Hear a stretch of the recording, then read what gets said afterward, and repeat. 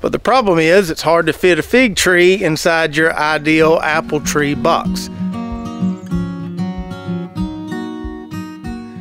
What's up Lazy Dog fam? Hope all y'all are having a fantastic day. It is Tuesday, December 12th here in South Georgia and on today's video we're going to do a little figging around now that most of our trees have gone dormant we're going to revisit pruning a little bit show you what we're doing to our smaller trees show you how we get back control of a unruly sprawling tree and also talk about whether or not we can keep a fig tree to a single trunk and why you would want to do that so as we can see from browsing around this part of the orchard, most of our trees have gone dormant. Now a few of the trees, like this white Marseilles tree here, still have some leaves on it. Hasn't gotten quite cold enough yet to knock this one back, but most of the trees in our orchard are bare at this point.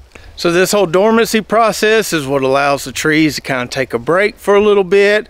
And then once things start warming up in late winter, early spring, they'll put on a ton of new growth and that's where we'll get our figs. And speaking of figs, we have had several people ask about these figs that are still on the tree when you get freezing temperatures and the tree goes dormant. They want to know, can they leave these figs on there? Will they still ripen? And unfortunately, they won't. They will eventually fall off or you just come out here and knock them off. So our in-ground trees for the most part are all dormant and I also let these potted trees go dormant as well. Yes, I could keep this inside the greenhouse and try to keep it growing all throughout the winter but don't have much room in there and so I just let it go dormant, let it kind of go through the natural cycle. So this one was sitting outside the greenhouse loses its leaves had a few figs on there that I broke off and it's just fine inside this pot here. As I've told you before if you order a fig tree from us and don't have anywhere to put it yes you can step it up to a larger pot. But you can also leave in this pot right here. We'll plant this one next spring. It'll have a nice root system on it like that right there and it'll take off pretty fast so now that we've hit dormancy, this is when we want to start doing all our heavy pruning in our fig orchard. We've already done some pruning as we were taking cuttings to grow more trees, but we still have a lot of trees that need some pruning. But before we start hacking back some of these trees, I want to address this idea of growing a fig tree as a single trunk, kind of like we did right here with this Salem Dark tree. So we get asked about this quite a bit. And the other day I was going back and forth with my buddy Matthew up in Athens. And he said he was about to meet with a lady who's got a pretty good sized fig orchard. And she prunes them all to a single trunk. When I heard that, I thought, man, that's a lot of pruning. So growing a fig tree like this does have several advantages. It's a lot easier to spread mulch around, a lot easier to pull weeds around, or if you're just gonna let the grass grow around it, a lot easier to weed eat around a tree with a single trunk. But the problem is it's hard to fit a fig tree inside your ideal apple tree box. A fig tree doesn't want to grow like an apple tree. Most fig trees want to grow like this one right here. They want to put out all these sucker branches, spread out wide, and grow like a big bush. So you can keep your fig tree to a single trunk, but you're going to need to do a lot more pruning if you're going to do it that way. It's probably a lot easier to do with a potted tree than it is an in-ground tree.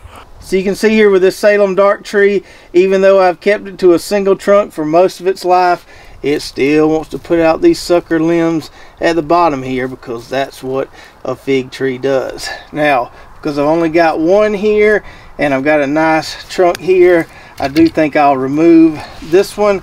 So I'm going to try to get as close to the dirt as possible down there and I'm going to cut that one off. But that doesn't mean it's gone for good. We'll probably still get some more suckers coming out of there the next year. And so we got to keep working at it if we want to keep this one looking like this. So for me personally, keeping all my trees to a single trunk is a little ambitious, but I do think there's a happy medium there. Now I don't want all my trees sprawling all over the place like this one, and we're gonna cut this one back pretty hard in a minute. So I'm perfectly fine with something like this that we have on this improved Celeste tree. Not a single trunk, but manageable. But do whatever works for you. If you want to prune it aggressively and keep it at a single trunk, make it look like one of those pretty apple trees, go for it. If you want to let it sprawl all over the place and do what it wants to do, let it happen. So now let's do a little dormant pruning, starting out with these smaller trees that are only a year old. We've already taken care of some of these, but still have quite a few left where we can show you our process. So when we're pruning larger, older trees, the goal, like I mentioned earlier, is to keep them more manageable. But when we're pruning smaller trees, like we have on this side of the orchard, the goal is to promote more branching next year. I know everywhere I cut that fig tree, I'm gonna get two, three, maybe four new branches coming out of that spot next year. So let's use this tree right here as an example. This is a one-year-old LSU gold tree that has given us some exceptional growth in the first year. The tallest point of that tree is probably about eight foot tall. Amazing how much this thing grew just in one year.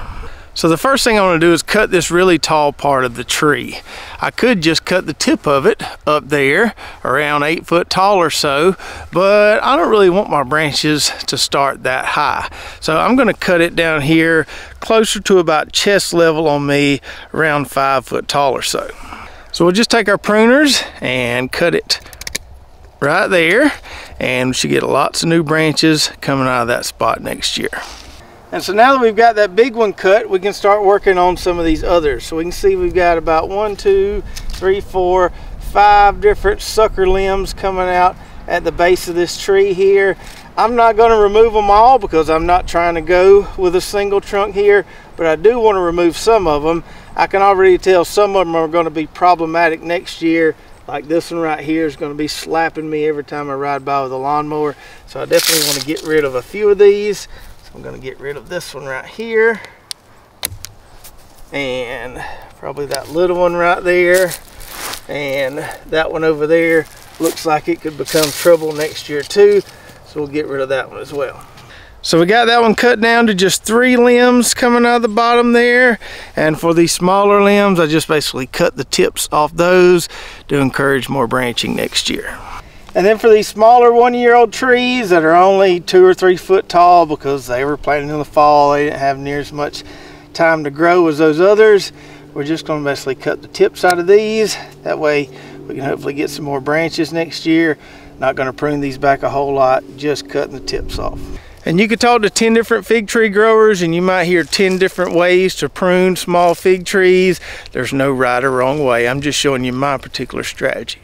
And now for this sprawling booger of a GE Neri tree right here, our strategy is just keep cutting, keep cutting until it looks manageable. So we've got our work cut out for us here. We've got some limbs that are laid on the ground there, putting down more roots. This tree will just keep spreading and spreading if we let it. I got to figure out which trunks I'm going to keep. Probably that big one right there and maybe that one right there. So I might just keep those two and cut everything else.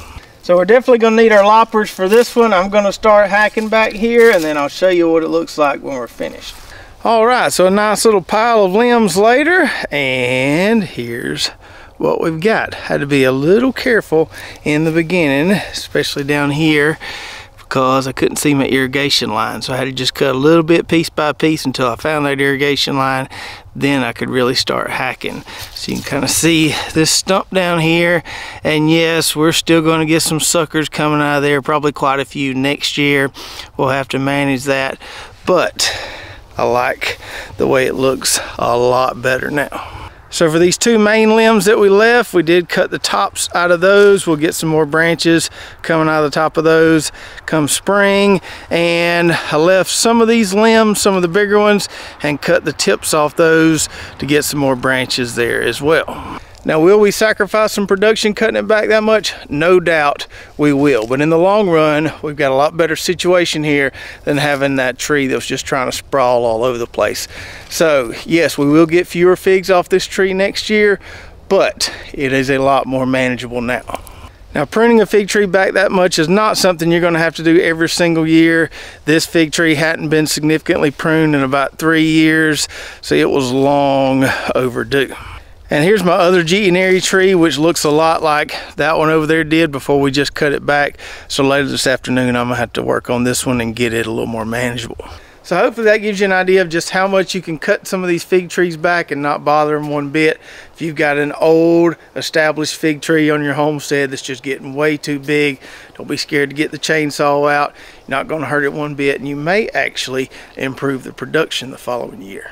And if you missed that video we did on how to protect fig trees during the winter, you can watch that right here. We'll talk about several different strategies you can use depending on where you live.